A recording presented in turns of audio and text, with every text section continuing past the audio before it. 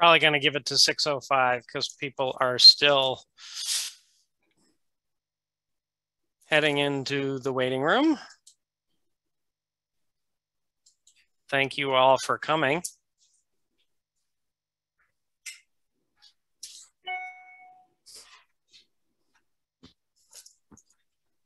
And everyone, because we have such a large group here, 40 participants so far, um, is going to be muted to start unless I've um, unmuted muted some of the core team. Um, basically what we're going to do is I'm going to go over, you know, introductions, ground rules, all that sort of stuff. Uh, we're going to have the presentation and then um, we can ask questions by chat and then we'll open it up to regular questions uh, after we get through the chat questions. Uh, if you're having any tech questions with your computer at home, I cannot help you because I don't know what you have, like poor Kelly, who runs the Black River Action Team. All right, looks like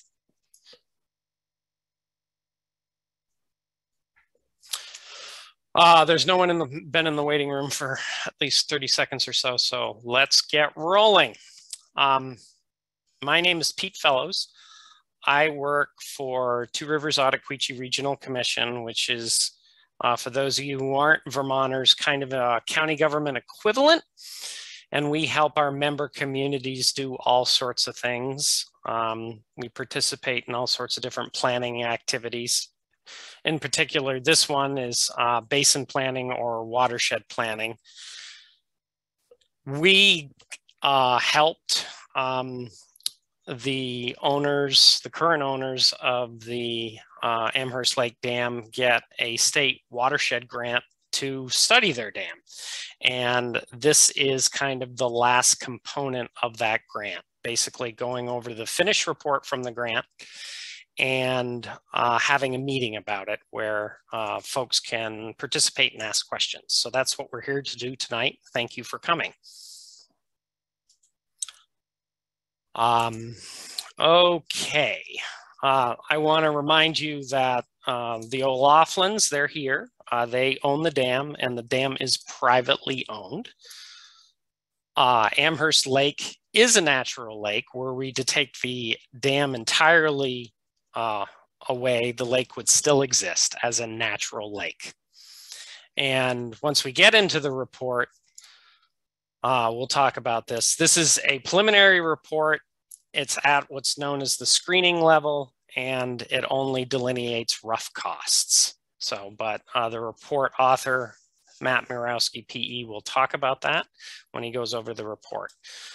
Okay.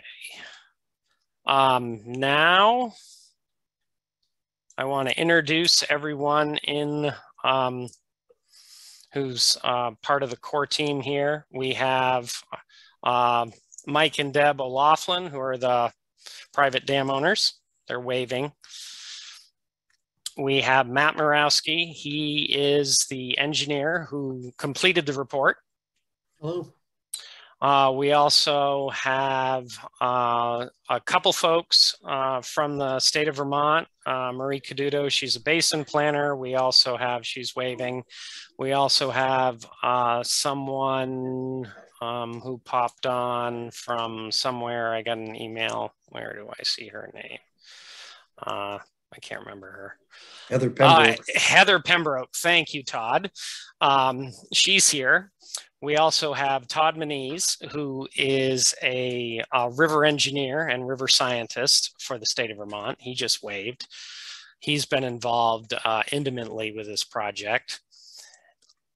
And we have um, Senator Alice Nitka. She's on uh, the line. Uh, uh two Plymouth Select Board members, they're also on the line. So I think we're pretty well represented uh, by you know government folks and state officials. Let's see if I'm my boxes here are hiding people.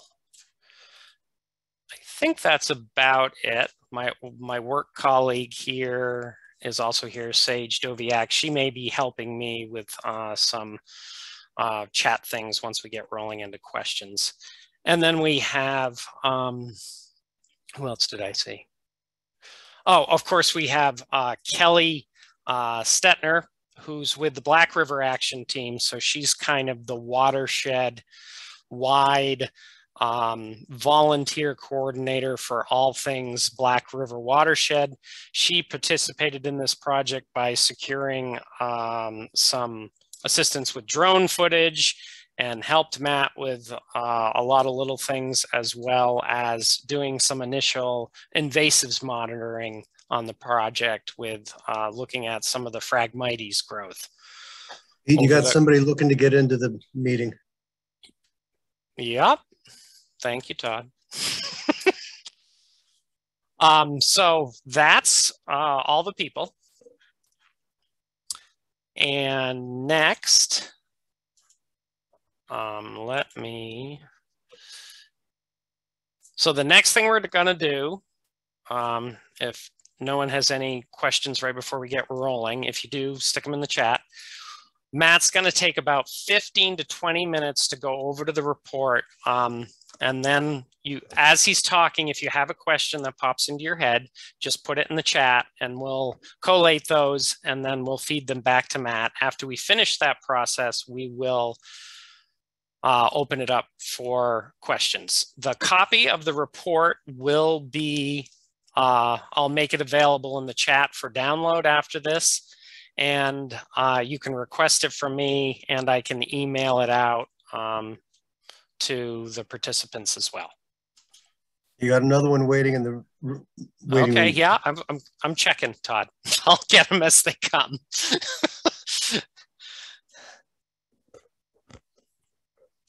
so I'm gonna give it to Matt to take it away um, and go over the report. Okay, well, welcome everybody. Um, and I'll share my screen here in a moment and show some pictures and some tables. Uh, but first, let's give you just a general overview. We call this a screening level review, which means we didn't dig into great detail in terms of the design of any one or, or, or two or three solutions. We looked at them sort of in more, um, in broader terms. Um, and, and we looked at what the impacts of different solutions would be in broader terms. Um, and for any one of the things we looked at, and we looked at full restoration of this dam, we looked at partial restoration of it, and we also looked at removal. And for any one of those alternatives, more work would need to be done. But this, what we tried to do here in this initial effort um, is to uh, um, put some ballpark costs together, um, some general descriptions of what the solutions would look like and, and um, what the pros and cons of those solutions are. Um, so with that, let me share my screen. I'm gonna start off just with some pictures. Um, uh, hopefully get us all on, on common footing here. Can you see my screen here showing these pictures? I can, it looks good. Okay, so I'll go through just a handful of these, these quickly. And these are all straight out of the report that Pete will make available after. This is standing on the left bank looking, uh, left, left looking downstream um, uh, across the dam. Uh, this is taken from this summer, so the flashboards were already removed. And so you're looking at water flowing over the concrete crest of this dam uh, flowing from right to left in the picture. Um, uh, before this summer, every every year there used to be uh, flashboards, pieces of wood put up across the, uh, that concrete spillway that held the water up. Most recently, those flashboards held the water up two feet. And you can kind of see the staining on the concrete that shows where that old water level used to be on that far wall over there. Um, uh, so most recently, those flashboards held the water up about two feet in, in some years past, the water was held up as high as three feet.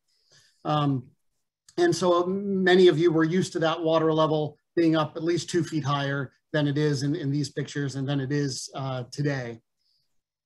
Um, uh, so just to give you a quick orientation of what we have here, we have this main spillway with a concrete crest there, and that's a, about 78 feet across. And then over on that far side over there, there's another little four foot section between that far wall and this other smaller wall. And that four foot section has what's called a gate. And it means it's a, it, just as a, a farm gate, you can open it up to let things out. A gate on a dam, you open it up to let water out. So there's a four foot gate um, uh, over there. And up on the top here, there's some apparatus there that you would use to, to crank the gate um, open his, historically. Um, um, keep on scrolling through some other pictures. This is standing downstream looking back up to where that previous photo was taken. Um, so there again, you can see the concrete crest. Um, water drops over that and then continues down into Echo Lake. Uh, that wall on the side is what's known as a, as a training wall. It sort of trains the water where you want it to go. Um, uh, looking across to the far uh, wall. And here you can really see a lot of uh, some of the, you can see a lot of the concrete issues that, the structural issues that face this dam right now. You can see all that, that white um, concrete. Concrete's really rotten there. It's in really significantly poor shape. Tough to tell from this photo, but it's completely undermined at the bottom here. It's, it's in um, remarkably bad shape. Uh, more undermining of this, this smaller stem wall right here. Um, you can see a block of concrete that was placed um, here because there was undermining of the spillway itself. If you were to go out as the state has done and probe with a stick underneath this concrete spillway, you'd find that there are voids underneath it is not supported well. Um, the dam's in rough shape. The state, um, uh, and I'll pause here for a moment to talk about uh, the, the, the, state's role in this. While the dam is privately owned, um, it, it uh, forms a lake that holds enough water that it, it, it is regulated by the state of Vermont um, dam safety program. Um, uh, for a dam like this, they inspect it periodically, and this for this kind of a dam, typically every two years, and they report on its condition. Um, and uh, they did that most. They did it in in recent years. They did it in 2019 and again in 2021, and the dam is in poor condition. Um, uh, because of these things that I pointed out, such as the the um, uh, the rotten concrete, the undermined walls, um, those walls are in fact leaning also, they're slowly tilting in toward the channel. This is over on what was the far side in those other pictures. And there you can see that concrete that I said got placed to address some undermining of the slab. Um, you can see the backside of the gate right here and this vertical piece right there as part of the operator. If you're up on the top, you could crank that and, and open or close the gate. And, and when you did, when you do that, water would drop below the level of the spillway and all be, as long as you don't have, as long as you're just at low flow conditions, the water would shoot through this gate area um, rather than going over the spillway. Um, here you can see some of that rotten concrete that I talked about. Um, here, if you look closely, you can see uh, that, that used to be concrete. Now what's left are, are pieces of exposed, um, corroded steel reinforcement. Um, so it's, it's hardly a wall even at this downstream end. So the state has classified this in poor condition and it's really, um, uh, I would say it's not debatable. It's in, it's in poor condition. Um, I'll, I'll, pause for a moment here while we're looking at this to talk also about how the state categorizes dams. Uh, dams are, are categorized because not all dams are created created equal from a safety perspective. And the dam safety, it's in their name, the dam safety um, section at the department at the at the state is is they're they're they're they're um, charged with um, uh, uh, trying to make to um, ensure that dams, whether privately owned or state owned or municipally owned, are um, safe and not posing a hazard um, to the downstream communities should the dams fail. And so you can imagine if you had a very small dam that was not holding back much water, it, it, it's possible a dam like that could fail and do no harm. In which case the state would say that's a low hazard dam because the consequences of it failing um, uh, don't amount to much. There's not much property damage or risk to life. Um, but then you can imagine a larger dam where if it failed, maybe it takes out some roads, potentially it floods houses. Well, now maybe we're now we're in the category, the middle category is significant hazard. And then uh, one more hazard classification where if it fails, loss of, uh, there's probable loss of life, and that would make something high hazard. This dam, the state has classified as significant hazard. Um, uh, and in the work that I did in this report, and I'm not going to go into a lot of detail on that on this, this um, presentation here, but uh, in the report, you'll see it, it, was, it's a screening level evaluation. Um, that suggests that the significant hazard, that middle category, is indeed the correct hazard classification for this dam. Were the dam to fail, there's likely to be some houses, um, camps down below that would be um, flooded, uh, and, and with that comes the potential for loss of life. So significant hazard, at least significant hazard is likely warranted for the dam. A few more photos. This, uh, again, you can see the, the concrete in poor condition consistently. You can see along the crest of the spillway here where there's catching a little bit of woody debris, there little, little grass and such and leaves. That's where there used to be steel rods that stuck up to hold the flashboards in place. And uh, this the state in, in earlier in this, or last year now, 2021, um, uh, after inspecting it again, confirming it was in poor condition, um, uh, developed what, what, they called a water control plan, which was a, a, sort of an interim measure to reduce the risk of damage should the dam fail. And the main piece of that was to cut off those metal supports that used to be across there, um, thereby permanently removing the flashboards that held the water up higher. And so now, should the dam fail, uh, uh, there's not as much water that would go downstream. Um, so there is not as much risk to downstream um, property or people. Um, this is the, uh, this is a, uh, on the Black River on the inlet side of the lake. Um, you can see the exposed ground on the far bank there. Before the flashboards came out, this area was uh, uh, would have been inundated, would have, would have been a lake, sort of a linear section of lake. Now with the flashboards out, this is sort of the head of the Black, Black River now, uh, where it's free flowing and going into the now lower lake level. Um, this is a picture of a, of a typical um, dock around the shore when the flashboards came out. Again, the flashboards came out lowering the water about two feet. Typically on most of the lake, the, the edge of water retreated something on the order of six to 10 feet or so. It's really steep. The banks of this, of this lake are um, on at least three sides downstream and both sides of it are very steep. And so when the water level goes down, um, it doesn't, you don't have vast expanses of land exposed, at least for the first two feet of drawdown, that's the case. Okay, so those were the photos there. Um, let me switch to, uh, let's talk about the, the, the uh, uh, different alternatives. So back to some of those photos there since they're more interesting than just me. Okay, so um, there are really three, three alternatives here. Uh, you know, before I talk about the alternatives, let me just first talk about ownership for a moment. Um, the dam is privately owned, as are many, many dams throughout Vermont and throughout New England.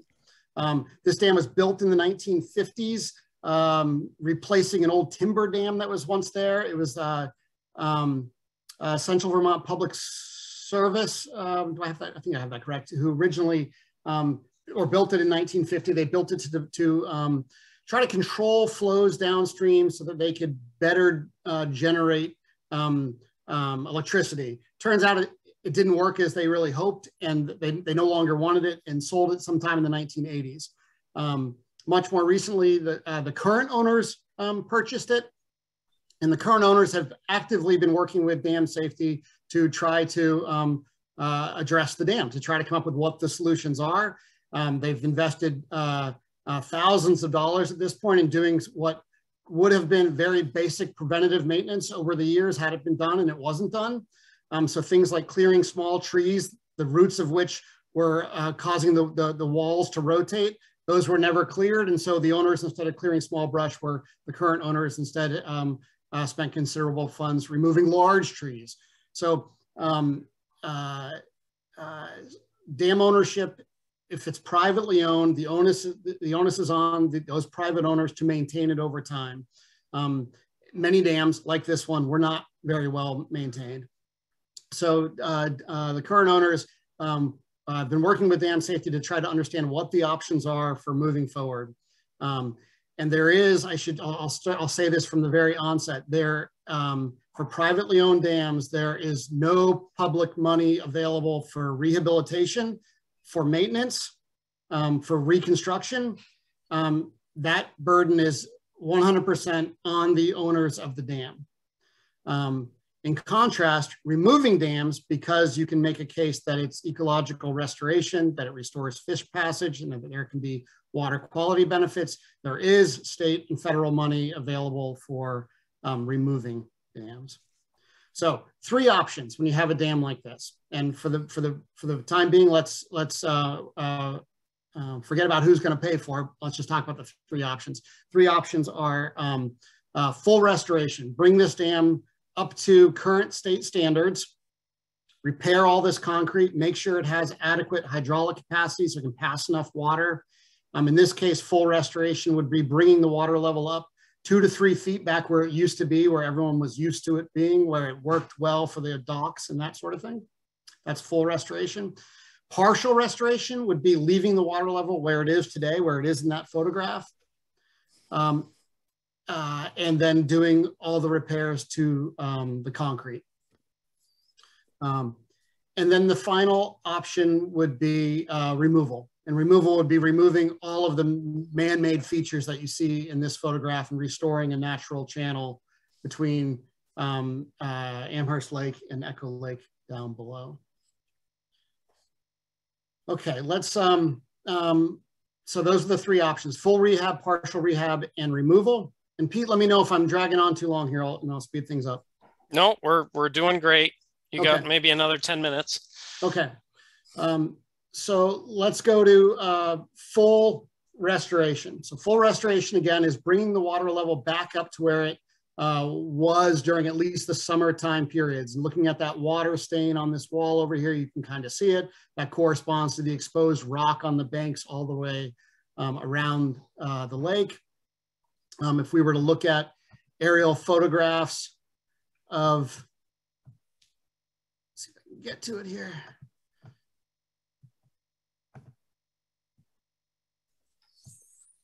Moment.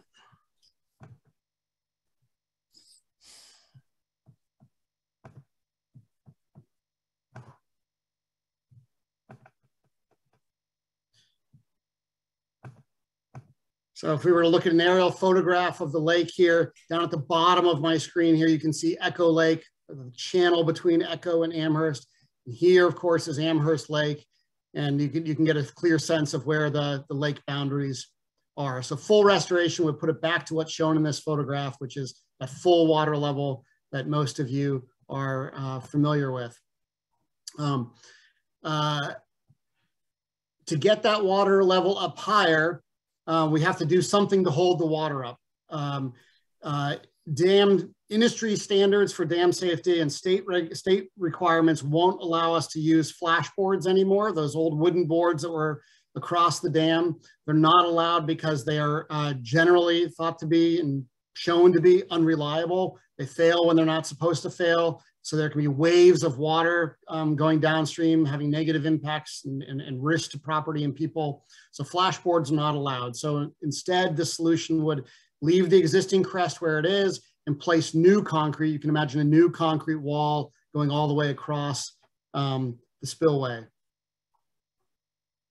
That's how we would get the water back up. So a new concrete wall on top of that spillway uh, that's two to three feet high.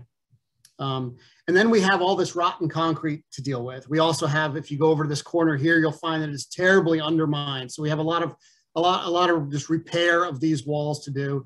Um, that would involve uh, um, uh, doing some temporary damming so we can have the water stay on one side of the dam while we work on on the dry side, and then we kick the water to the other side and work over there. And we repair or replace these concrete walls. Um, uh, it would involve re replacing this gate uh, um, area here. Um, and you'll see in the report, I've suggested a different way of doing it besides this, this wall, a different way that would just give us less concrete that needs to be maintained over time. Um, in the, in the design of, of this full restoration, we would need to evaluate whether the dam can handle all the water it needs to handle. Um, and uh, uh, that may involve in order to, when, when I say handle all the water it needs to handle, when we, when on dams, we look at really big storms. We look at um, uh, very big storms coming through. They're, they're uh, you know, much bigger than the 100-year storm event. We're talking uh, more, more like the 1,000-year storm event. Um, and we wanna make sure that water doesn't flow where we don't want it to flow. So in this case, we want all the water to go between our walls, not be flowing on, on ground over here where it might erode and have the, the lake drain around the side of our dam. So as part of full restoration, we would very likely um, need to raise these walls a bit to make sure that we had all the water going through our spillway. So again, the main components here, we're raising the crest by placing concrete, we're repairing all these walls and probably raising them and, and putting in a new gate here. So those are the main components of it. Um, uh, I'm going to refrain from cost and I'll give, well, I'll say, it. so the cost of a full restoration, I've estimated it at uh, $530,000. So that's a, that's a, that's a screening level, planning number, planning level number, $530,000 to do that. Um, and some of you may be looking at that and thinking it's just concrete walls. What do we need 530,000 for? Uh, I can just tell you working on dams is exceedingly expensive. Um, there's so much effort that goes into controlling water. Because of the, the risk to downstream properties and people, um, construction is held to a standard that is much, much higher than you would hold for even commercial real estate. So working on dams is very expensive. Okay, so that's full restoration, $530,000. Um, let's go to partial restoration. So again, partial restoration is we're still gonna have a dam. Um, we're still gonna have to repair all these walls. We're still gonna need to put in a new gate over here. Um, so it's just, in, those, in that regard, it is just like full restoration. The difference is we are not going to raise uh, the crest of the dam any more than you see right here today. It's going to stay with the water flowing over the crest of the dam. So it's full restoration, except we're not bringing the water level back up. We're keeping it where it is today, which is roughly two feet um, below where it was uh, last year. So what you see out there today, if you were to go drive around, if you, if you own docks on it, what you see today is what partial restoration would look like in terms of water level. Um, and let's pause right there and talk about what that water level kind of looks like. So again, it comes down about two feet, um, which means uh, the lake is not as deep as it was. Um, I can tell you the dam uh, uh, originally with the water at full pond level, where that water stain is, where the exposed rock is, um, Amherst Lake Dam was uh, 90 uh, feet deep, um, which is remarkably deep. There are two deep pockets in there. The, deep, the deepest one is 90 feet um, uh, which uh, made it the 11th, it was tied uh, for the 11th deepest lake in the state. It's remarkably deep. When the water came down two feet, as it's shown in this picture and as it is today, um, it went from 90 feet deep to 88 feet deep. And um, it's now the 12th deepest lake um, in the state. The surface area um, went from uh, 82 acres to 80 acres. So we lost a it added up. Those two acres come from almost entirely around the perimeter um, of the dam, or perimeter of the lake rather. That's where we lost our two acres when it came down. Um, that of course doesn't tell the whole story because those of you who are up, up on um, the inlet channel, for instance, or those who use um, the Hawk Marina there, while, while the shoreline didn't retreat too much, the depth sure changed. So, so uh, I want to acknowledge that, that uh, um, there are impacts for sure. Okay, so um, we've talked about full removal, we've talked about, I'm sorry, full restoration, we've talked about partial restoration, and now let's talk about removal, the third option. So the third option is we remove all these man-made components. Um, we uh, reshape the, the ground where the dam is right now to look a lot like the, down, the channel that's downstream leading into Echo Lake. Um, these two lakes will still not be equal. We will still have a free-flowing channel Hey, um, hey, Matt, can yeah. I cut in just for a Please. second? There's a couple questions in this chat that I did want to interrupt you for. They're both on the cost of partial restoration before oh. you go to removal. Thank you. Okay, so I said full restoration was 530. Um, partial restoration is 480. It's still awfully expensive. Again, the big thing that's not, the big difference here is that we're not adding the concrete. That's where the savings is. But it's still 480,000. Okay. Um, back back to removal here. So we would right now the water level between this flat water on the right side of this picture and the channel downstream here is just a touch over three feet, 3.1 feet or so. So um, uh, that's the drop that we would have with full removal. We'd go, uh, this water up here would drop three feet down to this level right here. under the footprint of the dam here, we would have a natural stream channel that looks a lot like the stream channel that's down below that if you were standing there now, you'd see going into Echo Lake. Um, so before we dropped, with the flashboards off, we dropped it two feet. That would be the partial restoration. With the removal, we drop an additional three. So I'm rounding my numbers here. So we were talking about a total drop of five feet from the historic levels. Um, I said that the going from the original water level to where it is today, uh, we dropped two feet from 90 feet to 88. So with this full, with the full removal, we're going from 88 down to 85 feet for maximum depth. That's still an awfully deep lake. Um, uh, I said that with the, at the current water level, we were tied, we were the 12th deepest lake in the, in the state. And um, taking it down another three feet, we're still the 12th deepest lake um, in the state um, at, at, again, 85 feet. Next in line is uh, Lake St. Catherine at 65 feet. So we're, we're still 20 feet deeper than the next um, deepest lake in the state. Um, I, I, bring that up because I, I, know people have said we won't have, there will not be a Lake Amherst where, where the dam to come out. And that's, that's simply not the case. It'll change and there are some impacts, but there is still a remarkably deep lake left behind. Surface area changes more significantly. I said before that going from the original water level to the current one shrunk, we lost about two acres of lake, mostly along the shoreline.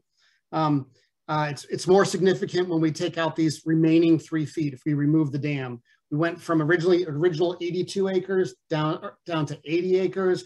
Um, we go down to 64 acres with full removal. There's still not a lot of change in shoreline along the sides of the dam.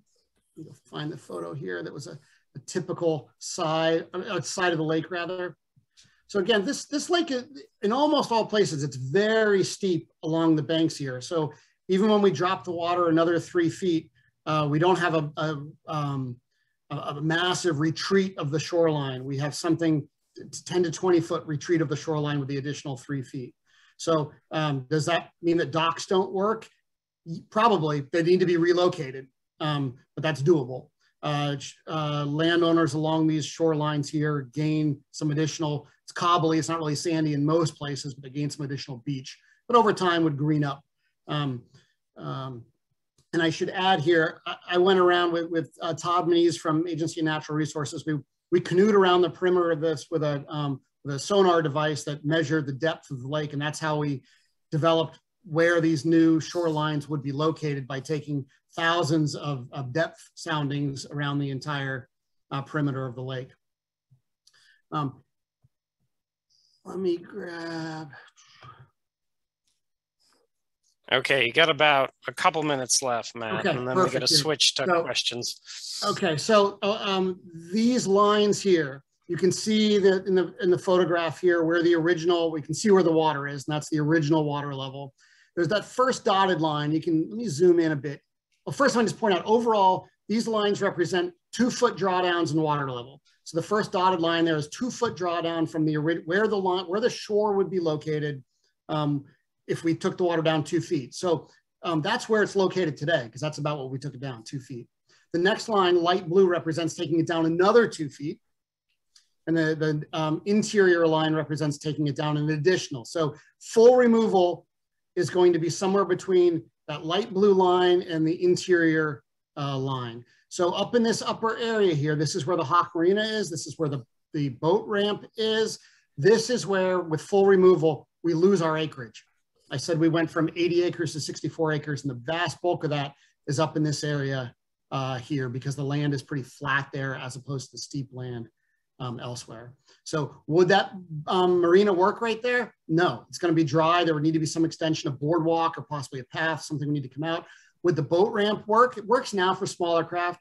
Would it work with full removal? No, that would need to be re-engineered to probably come along the shore and cut into the deeper area here. Fixable, you know, it's fixable, uh, but it wouldn't work on day one. That's that that's for sure. So if you wanted to access your your now 85 foot deep lake, which you probably would, it would require uh, the owners of those facilities to make some adjustments. Um, cost. So again, we have 530 for full removal. uh, we have 480 for partial, and we have uh, 240 for um, uh, uh, full removal. And I should just point out there, my daughter decided to paint my nails, and I forgot I was going to be doing a uh, Zoom call. So, um, Pete, should we take some questions at this point? I, I think we should. Um, so for the first round of questions, I've already gotten a few. If you want to type them into the chat, we'll probably do that until about 10 of or however long they last. And then we'll open the audio up for a more back and forth process for the last five to 10 minutes. Um, you were just talking about the boat launch, so we'll stay on that. Um, the boat launch will basically be inoperable um, if you do the full removal. Uh, folks asked about that. Um, we don't have a hard and fast answer to um, what the state would do with the boat launch. Um, we don't know. Uh, we we just don't know um, what their policy would be. Um, uh, somebody asked a really good question, Matt. What would full removal, how would that impact um, homeowners and landowners on Echo Lake and boaters and users down there? The people on Echo Lake would never know. They would they would never know that anything changed up above. Um, uh, they, it does not change.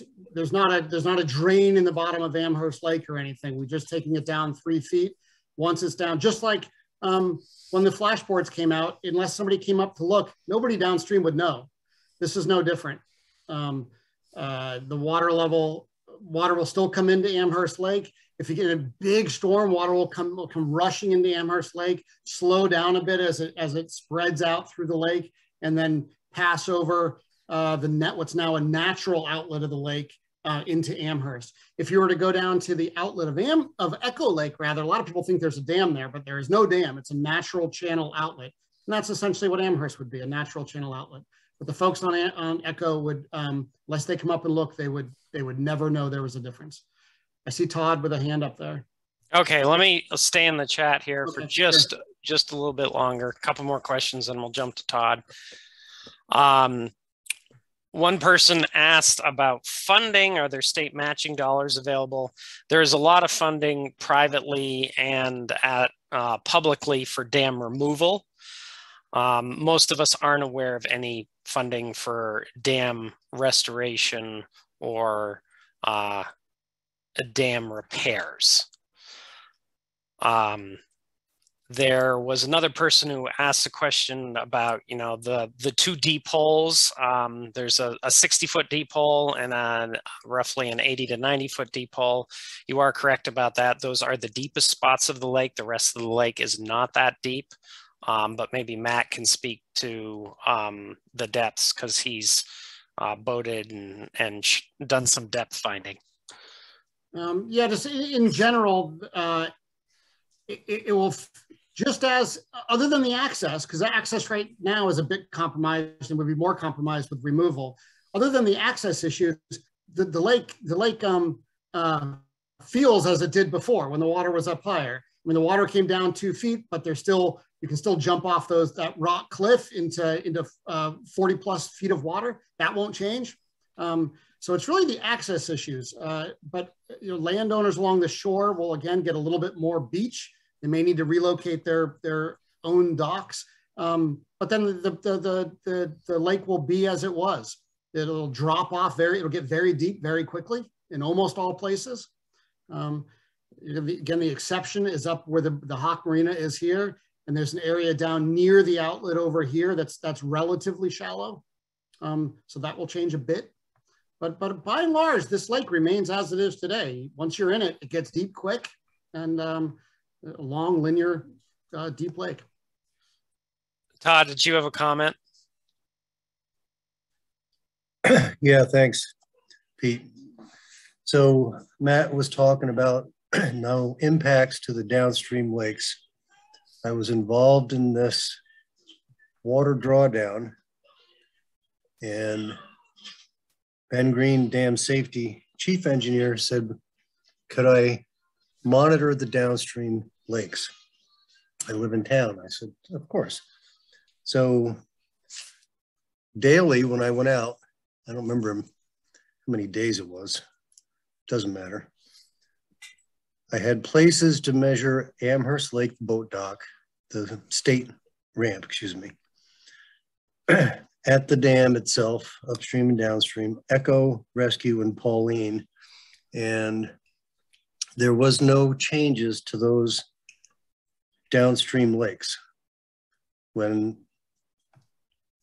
Amherst would rise in storm events, then so would the other lakes. And that's what we expected, as Matt said, there's no drain in any of those lakes, particularly Amherst Lake of question. Thank you. Okay, we had a question about is dredging the north end of the lake feasible? I don't know if Kelly could talk to that based on her experience post Irene with Lake Rescue. Um, or anyone else who wants to jump in, Todd or Yeah, now, Kelly, with all due respect, my friend, that's a question for the lakes and ponds section, wetlands. I can't answer that. Dam, safety can't answer that. Nobody here on the line that I know of can answer that. Okay, it was just a question from No, Frank. no, I Yep. understand. And if there is somebody that can answer that from the state government, please do.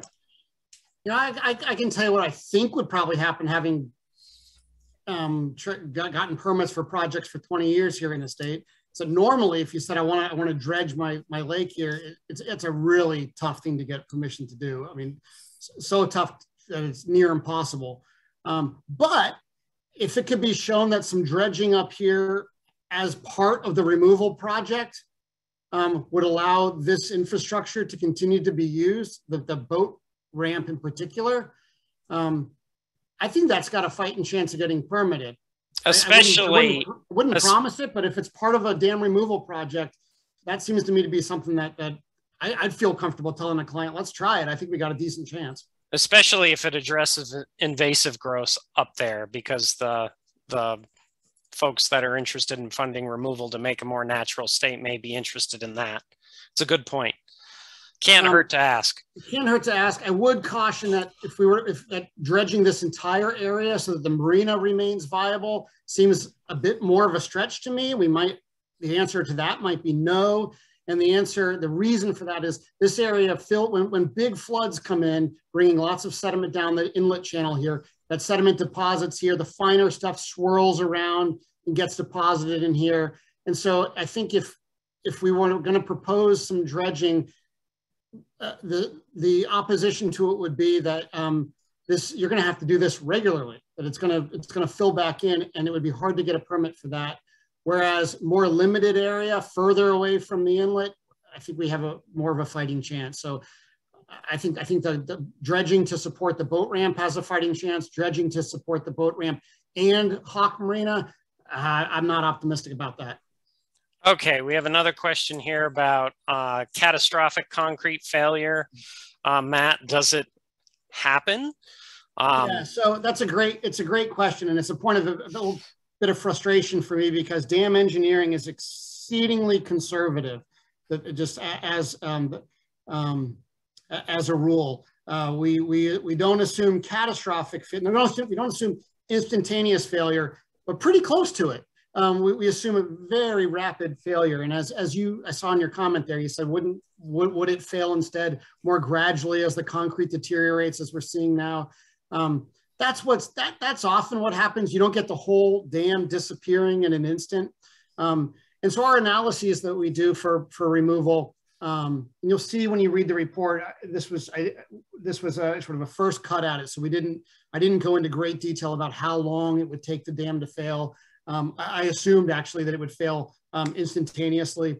Um, were you to do a more detailed review of how the dam fails, you would let it fail a bit more gradually. But by gradually, I mean over the course of an hour rather than instantaneous. We're not talking it fails over a course of a month. It's it's pretty darn um, quick, and we see what that wave of water moving downstream does to downstream properties. And I went around all of Echo Lake looking at um, topography and locations of camps to try to figure out where houses were located, um, who might get wet. And based on that, there are some houses or camps that are down low within roughly four feet of the water. And, and um, uh, they'd likely get wet were there a, to be a rapid release of water from Amherst at its current water level. Oh, you know, I should mention here also on removal, because somebody, some folks had said, why don't we remove the dam and instead put in its place a bunch of rock, kind of build a natural channel that holds the water up where it is, or even higher. Um, and, and it, it, sounds like a good idea because we could say, well, it doesn't look like a dam, but I can tell you the state dam safety folks would absolutely consider that a dam and would not be able to get a permit for it. It's a non, it's a non-starter. In fact, this came up earlier this year on a dam in Barton where I'm not sure how they got as far along as they did, but they proposed to um, do just that, remove a dam, not unlike this, and put in a bunch of rock to build a what, what sort of a natural channel and um, the state said, no, that's, that's a dam. Might not be built out of concrete or steel, but that's a dam. So that, that's a non-starter here. Uh, there was a question about uh, annual uh, permit costs and ongoing costs of upkeep. Um, so permit costs, uh, every year a dam owner has to register their dam with the state and pay a fee. That fee is based on um, uh, hazard classification. Um, again, there's high hazard, significant hazard, which is what we are. And then there's low hazard. Um, I'm trying to remember off the top of my head what that what those fees are. I know it's a thousand for high hazard, it's 200 for low hazard, and I cannot for the life of me remember what it is for significant hazard. But give me a second, I might find it. So that's the ballpark we're talking about, somewhere between two and maybe Devin, Mike, if you remember, you can make some sign language. Three. Thank you. Okay, there was uh, some housekeeping things here. The, the um, this presentation is being recorded. It will uh, take me a, a while tomorrow. Um, I already have a two-hour delay for school because it's supposed to be so cold, to, cold tomorrow. So I'll be getting in late. So sometime probably tomorrow afternoon or uh, Wednesday morning, I'll have the recording ready.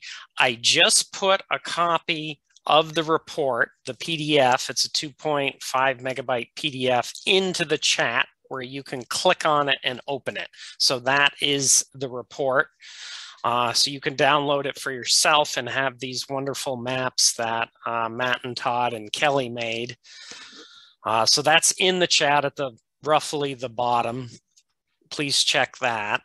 Uh, I'll put a couple more links in there. Um, all right, going back to the questions here. Um, there's a good questions about what's the time frame for final decisions. Um, the the dam is privately owned um, by the O'Laughlins, and they do not want to retain ownership of the dam. Um, so they are um, considering all options with um, not retaining ownership of the dam being uh, the main uh, driving force behind their decision making. And they're interested in uh, all sorts of reasonable solutions. Um, do we know which houses on Echo would be damaged? Uh, is there an image or list of that? Uh, Matt can speak to that. He did a preliminary analysis, a very preliminary analysis of comparing the houses to the water surface level. Uh, he can speak to that real quick. Yeah, I, you know, I don't have a list of addresses, or nor did I make a map of those. Uh, um, uh, given the, screening, of this initial level of study we were doing here, I, I um, uh, it was it was somewhat crude. I can come up with it pretty pretty easily though. Um, the state has a nice website with available mapping. It shows all the contours, shows all the houses, and so um, uh, relatively easy to do. I, will point out also though that it, were somebody to pursue alternatives one or two, full restoration or partial restoration. Um, uh, an engineer like me would, would, would uh, uh, do a much more detailed analysis of where the water goes and who gets hit. The state would require that before they would issue um, a permit. While I'm talking about the state issuing permits, somebody asked, are the standards in Vermont the same as say Louisiana? And there are differences between states, um, uh, but, but there's more similarities than differences. So most states have to hold have to meet um, very similar requirements in different states. New Hampshire is another state with very similar requirements. New Hampshire has um, uh, New Hampshire is a lot more stringent, in fact, and no state in the country is getting less stringent in terms of regulations of dams. If you're a dam owner, um, you can expect that you will be held to higher, increasingly higher standards. That's what's been happening all around the country, including all of our neighboring states. Uh, there was one good question that someone asked, have we searched our local Amherst Lake owners uh, for possible contributors, an interested party for restoration or repair? And um, I don't know if she wanted to speak to it, but we have someone on the line who's been working very, very hard on that.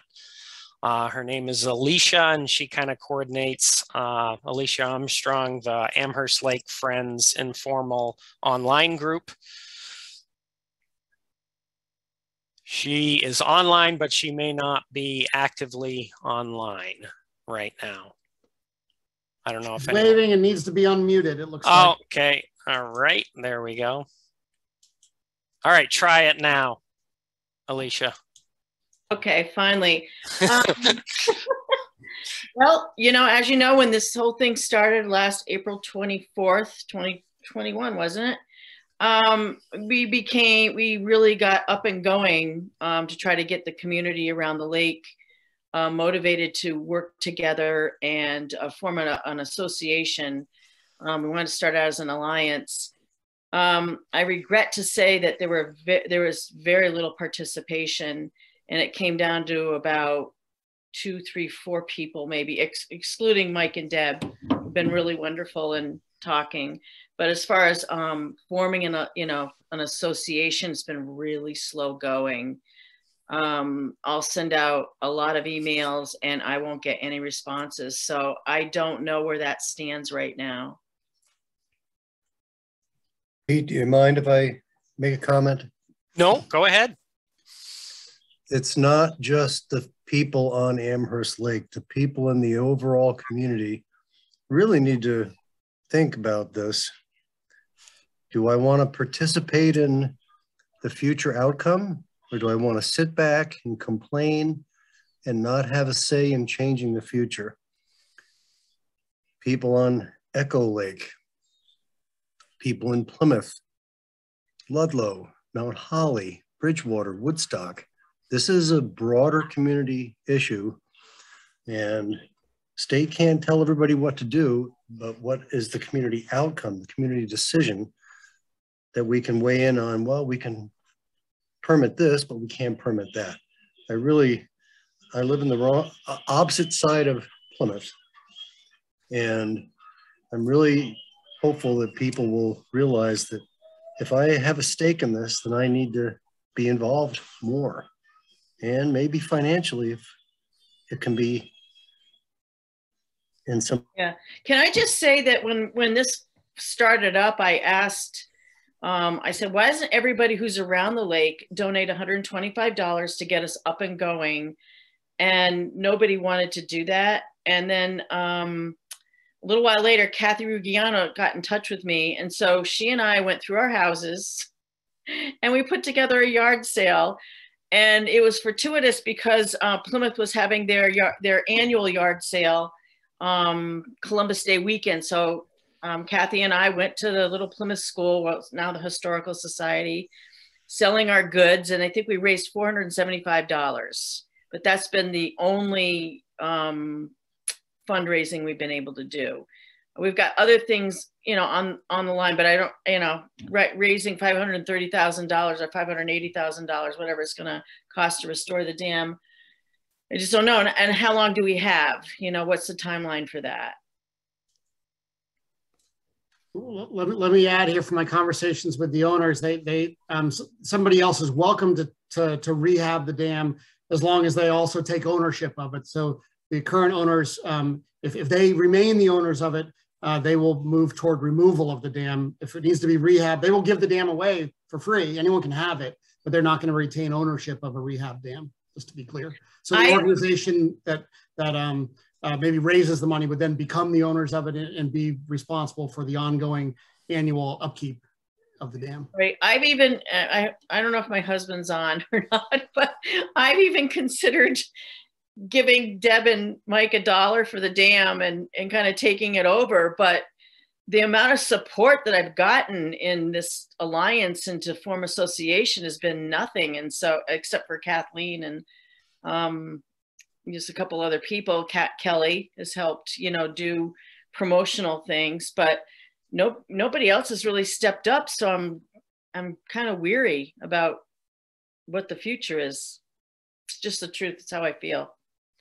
Okay, um, there are a couple people with their hand up. I'm gonna get to them, let them talk now. We'll switch to that. We got about five minutes left.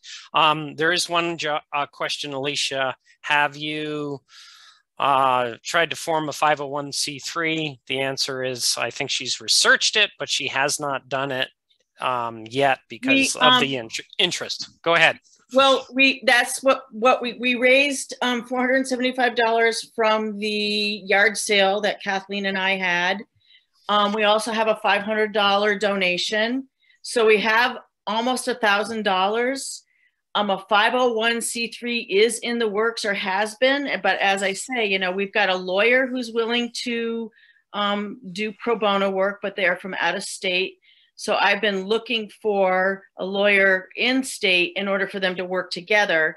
Um, it's been, I believe, a 501c3 cost about $600 to apply. I think the application fees that, that much. I don't know. I could be wrong, but that's what I that's what my research is.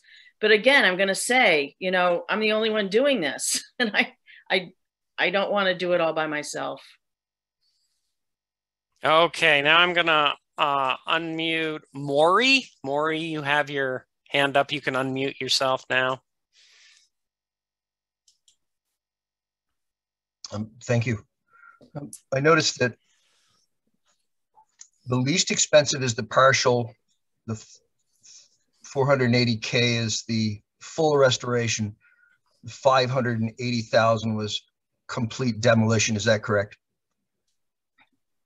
Uh, no, that's not correct. So full restoration is 530, partial restoration 480, removal 240. Thank you very much. You're welcome. Um, were these numbers put out to bid? How did you come to these figures? Yeah, it's a good question. No, they're not put out to bid. So I, I um, you'll see it in the report, uh, identified what the major work items are. Um, say repairing a wall. Based on my measurements, I knew how much concrete that would be, and I applied um, I knew how many cubic yards of concrete it would be, and I applied a, um, a, a per cubic yard cost to that concrete. Um, so these using, numbers are fairly subjective then, other um, than the materials. Yeah, yeah. Actually, those materials are probably the most objective ones because I had bid results from Agency of Transportation. Some of the other ones are are um, cruder than that, where I use my my best judgment and use my experience on doing these sorts of projects around New England. Yes, um, thank, thank yeah. you. Um, last but not least, um, 85 feet. Um, sportsman's license sales paid for that launch. And I can understand why you wouldn't want power boats there any longer, although it's always been limited access for that matter. Um, but it's just something to keep in mind that the, there's a lot of people that do fish that. Um, I don't know where they stand on it. I don't go there often, but I do enjoy it. Thank you very much. Pete, folks, there was a comment, a question about getting the cost estimates from Matt.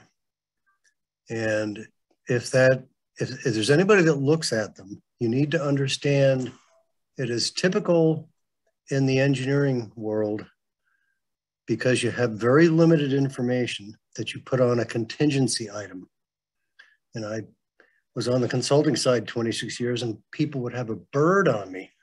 Why is there a contingency item? Because we don't know. I'd like to commend Matt and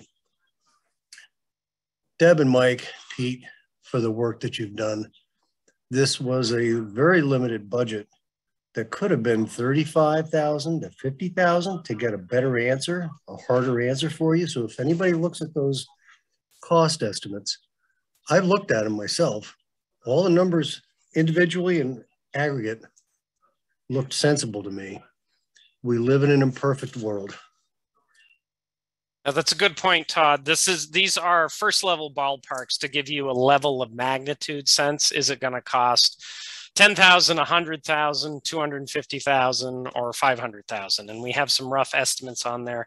Uh, Matt has, uh, I think, smartly applied a large contingency, a large um, percentage, um, which nowadays isn't that unusual given the cost of constructions uh, construction due to uh, the pandemic, uh, employment and supply chain issues. So it's it's gotten a little bit harder even now to uh, come up with numbers, but I think uh, as a first level estimate, these aren't unreasonable. Uh, Richard, I'm going to get to you next, and then I'll go back, and then I'll go to John. Good evening. Thank you. Uh, for the uh, sake of full disclosure, we're at the opposite end of Alicia's Lake. Um, and while Alicia gets impacted uh, greatly by the reduction in the water, uh, we also have that impact. And I'd like to address that for a second because we tend to talk about the deepest part of the lake, but we don't talk about the average depth of the lake. And when you say you're losing two acres or three acres or four acres, you're talking about water, um, but you're not talking about navigable water. And if you want to put a boat or a kayak in that lake, you may have three or four inches of water, but it's not enough for a kayak or a canoe or certainly an outboard motor to run through the lake.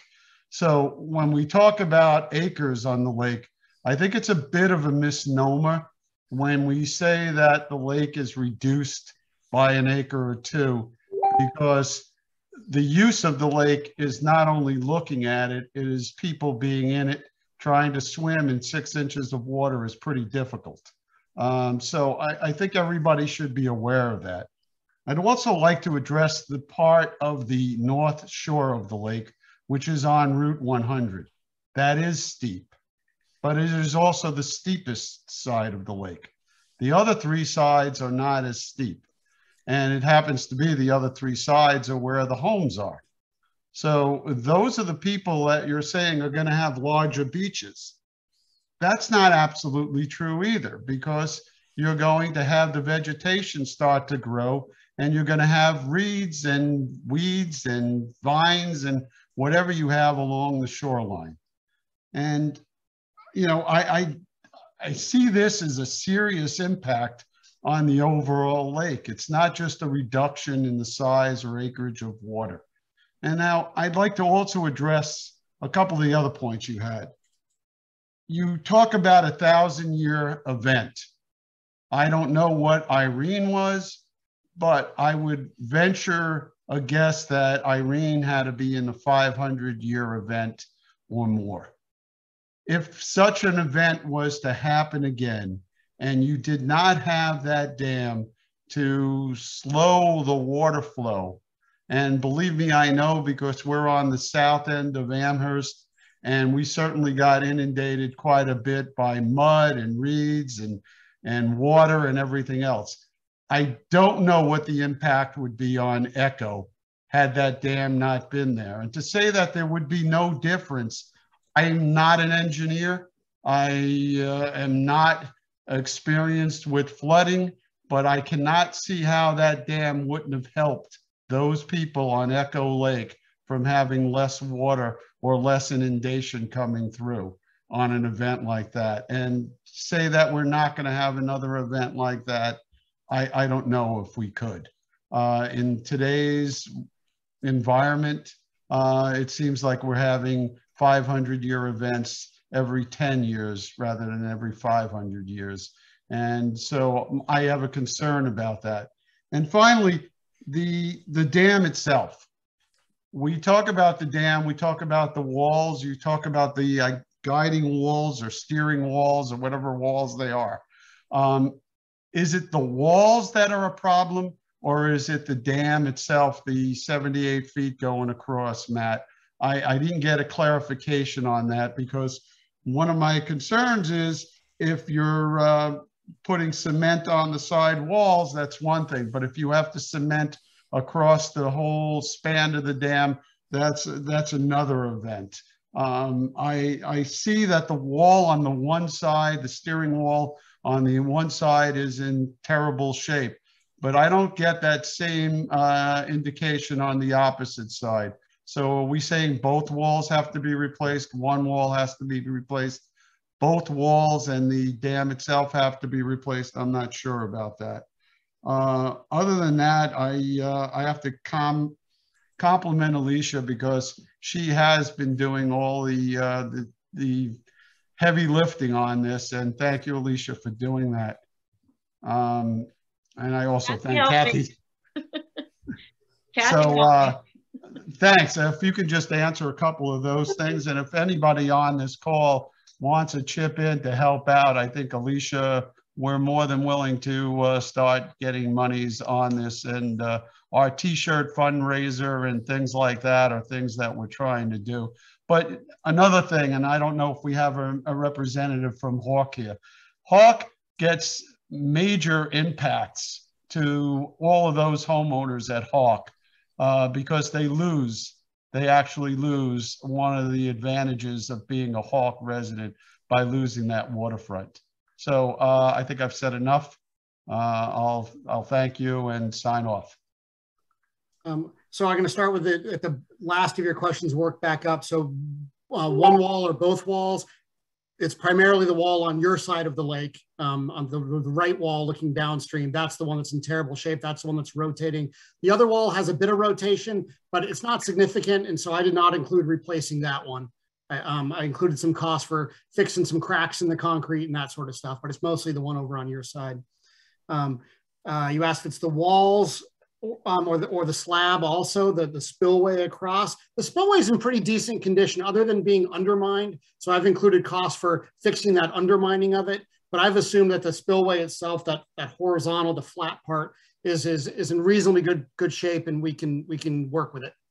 Um, uh, you talked about uh, the amherst lake slowing the flow of water before it reached echo and that's true. And there would be a little difference. The, the, the bigger the water surface you have, um, the more attenuation, the more lessening of the, of the flood flow that you get downstream. So if you have a very small lake, it's not going to lessen the flow much. It's going to fill up and the water is going to go right out. And so um, uh, you are correct that with a smaller lake, there's less of that um, reduction in the flow. Um, uh, but I would say in, in a more intensive study would demonstrate it, not much it would be an it would be an indiscernible change to the people in Echo. Like you're right, it's happening, but it's a, at this point it's an academic issue. Um, it's not making much difference. Um, Oh, and you talked also about it being not steep everywhere, and you are I think you are correct. The Route 100 side is the steepest, but from all the um, uh, uh, topographic data we collected with all the with this with the sonars, it's pretty darn steep on the opposite bank too. There are a couple places where there are some channels coming in uh, that bring sediment and it makes it a little bit flatter. Um, but, but even over on that other side, it drops off really quickly. So the issue in terms of access are really in three places. They're at the uh, southern end near you because it's relatively flat in that little pocket there, as you know, um, before it then drops off again. Uh, and then up near the boat launch in the marina, that's the second place where it's quite flat. And you're right, like the water, we may have, the shoreline might have only retreated two feet, but you can't use the water because it's only a foot deep. You're right about that. So that's the area. And then the inlet channel. Those people used to essentially have docks that went out right out to the lake and now it's a free flowing stream and they don't have an option to extend. Finally, I think to me, I look at it and think uh, it sure looks to me like there's a very nice, functional, useful lake here, even with the dam removed, but we have real access issues that need to be addressed. Seems to me access is the big issue. Access where your house is located near the dam there at the southern end. Certainly access at the boat ramp, either extending the boat ramp um, or, or possibly dredging.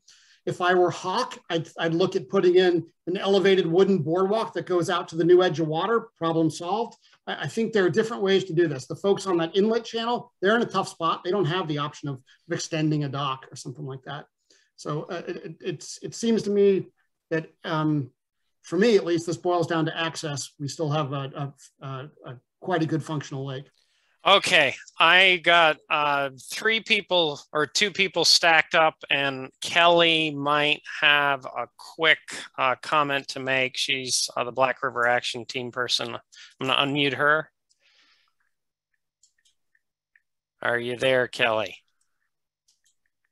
Maybe not. Oh, there she goes. All right, it looks like you're unmuted, Kelly.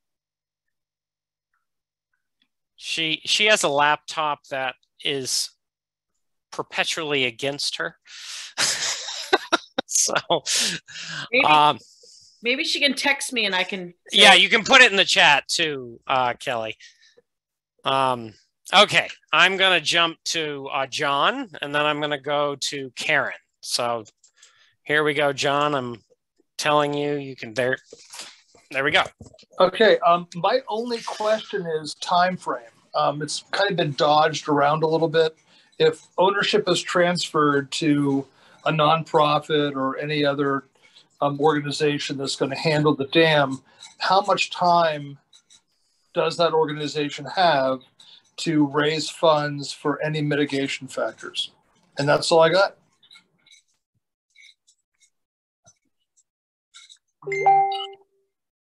Uh, who wants to tackle that? I could. I can kind of- tackle that. The- Okay. The, the, uh, um, uh, I can try to at least. The, the water control plan that the dam safety folks put together a year ago that led to this temporary lowering of the water, or, or I shouldn't say temporary, led to removing those poles that held the, the, the, the flashboards in place. Um, part of that uh, uh, included a time frame of two years um, to uh, restore the um, to, to get permits to, to put something, a dam back in that would restore the water level.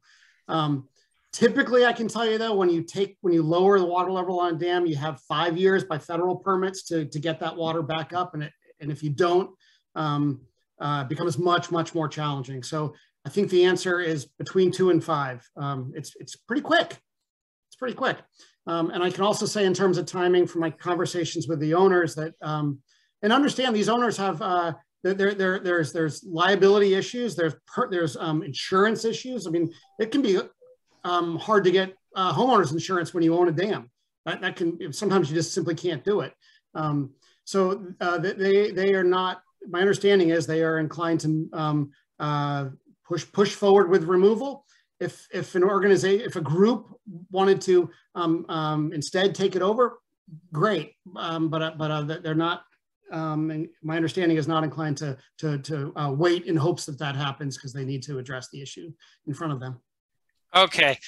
Uh, Kelly did put something in the chat, basically to the extent of everyone should get a hold of Alicia um, and to kind of restart the um, process of of dealing with you know the next steps. Um, and if if folks want, we've got a couple more questions. Um, uh, we can go for another five to 10 minutes. I can pass off the host of this meeting to someone else, and you're welcome to use our um, uh, Zoom time to continue to meet for a little longer if uh, someone wants to take over that hosting. But I'm going to let Karen Can ask a question. Can I just say one thing? Um, yes, will- Alicia, I- go ahead. For the 501c3, I've already written the bylaws. They're all written. So we've got that going. We're just wait. We're, we were kind of waiting for a meeting like this to, to make a decision about moving forward to establish the 501c3. We've got Okay, Yeah. wonderful. That's Great. great news. Karen is unmuted. Go ahead. Yeah, um, I think I have my answer already. I'm Karen Matursky over on um, Echo Lake. And what I'm understanding then is the next process, the process now goes through decision making. And it sounds like the owners of the dams have made their decision and they can go forward with what their decision is. Is that true?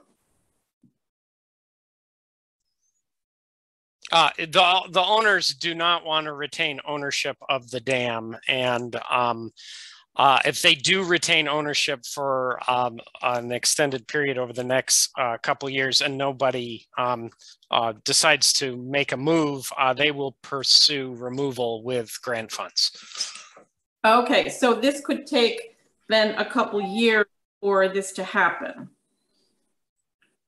Yeah, I mean, removal can't be done overnight because grants have to be secured, which are available for removal. Um, So the decision can be made and then grants and all of those things happen. So it could take two years if the dam was going to be removed. Um, okay, that's one of my question. The other one is you said there wouldn't be any impact either way um, for Echo Lake residents. The, uh, Matt can, sp- Matt, Matt has spoken to that. He- I don't know if he wants to say So something there would else, be but a slightly reduced risk of damage um, and risk to people should the uh, dam fail. So with the dam gone, there's not a risk of dam failure. So that's, um, but you know, that- that's sort of academic also um, in- some regards. Uh, and then in terms of um, flood flows to, to Echo Lake, again, academically, there's a little bit of a difference um, during major, major flood events, but uh, um, not something that anybody on Echo Lake could discern. And I'll point out also the outlet of Echo Lake is smaller than the outlet of Amherst. And so during really big storms, Echo backs up onto Amherst. Even the annual flood um, goes, uh, backs up from Echo Lake and starts touching the spillway on Amherst. Um, so yeah, not much. If, you're, if, if you lived on Echo Lake, you would never be able to discern a difference. I'm confident saying that. Okay. I, I mean, I'm just worried about safety. That, that was my concern and I got that answer. So thank you very much. You're welcome. Uh, And I guess we just then wait. Is that what we do? well, I My think friends, no, don't wait. if I were the O'Laughlins, I would pursue taking it out. So you need to meet their time schedule. Please. You all No. need to get together. I agree with Just asking the, This is a golden opportunity. right, I, I'm just asking a question, like, what's our next process? What do we do with the owners to help them through this? Or I, I don't know where it goes from here. We need to, take- we need to take away, own, we need to buy it from them if we want, if we want more control, I, I would say, right? Deb and Mike, want me, are you here in Vermont? Uh, you here on, on the lake? they are on the line. Oh, do you want me to un, give me a thumbs up if you want to be unmuted? Okay. There you go. You should be able to do it now. They're unmuted. Yeah, I mean, I, I, I will give you the, if you want the dam, I will give it to you and a dollar. Uh, we have asked everybody that we can think of, state, municipal, regional people, uh, to do this. How this dam got into private ownership, uh, the more we are finding out about this, um, I know. It's hard to believe, but so anybody who wants it, I will please happily give it to you. So, When are you coming up again? Or- uh, or- if you want the dam, I will come up tonight. So. the lawyer who didn't warn you about this and get five hundred thousand dollars? And I'm asking only half jokingly. You know, the, the dam was there, but the uh the how should I say this nicely? The the understanding of the repercussions of it weren't were not there. I mean, you knew the dam was there, you could see it. There was no question it was there. And honestly, it looked kind of nice and peaceful with water going over it. Um the repercussions of when we started digging into what this entailed and what it actually needed, um, it, it's it's staggering. Um, so The O'Laughlins are the fifth people buying a dam that has been deemed needing to be removed or repaired. They're the fifth that I've seen. And this is not a good situation. It's not really fair to them, but this is life. We live in an imperfect world. Well, I think I think the realtor community should be aware of what they're doing. All right, we got a couple questions here. I've got a couple repeat questions. Oh, it looks like I have a new question from a person who hasn't ad, asked one. It's the uh, Melville or whatever. I'm going to unmute them. Oh, not it didn't quite work. Try again. There you go. Hi. I'm just, everybody's asking a lot of questions about, you know, what's the next step? If you've been through any kind of development or fundraising campaigns, we already, the process is, is together for the 501c, which is amazing. There's an interested group of people here. We need to raise enough funds to indicate that we have a base of support. And then we leverage that to go out into the community to say, we've raised this much, people are committed, we're gonna, we're gonna fix this dam, here's what the plan is, here's how much it's gonna cost, and then we try to raise the rest of the money. So it's a commitment among the initial group to say, we're gonna go for this, and we're gonna try and make this happen. But unless you've got that base of support more than 475, you know, dollars, and a $500 um, anonymous donation, You need more than that to go against whatever the agreed upon plan is. And so we need to agree what the plan is through the 501c, develop that base, and then like get out the vote. And it's a ground effort. It's calling people, it's knocking on doors, it's all of that. But if we want to save the lake, that's what it's going to take. And Alicia and team has done an amazing job. I mean, you got all of us together. Everybody was waiting for the report. That's a major accomplishment. So now where do we go from here? We already have the owners saying we want to sell. Um, let's create a handoff situation.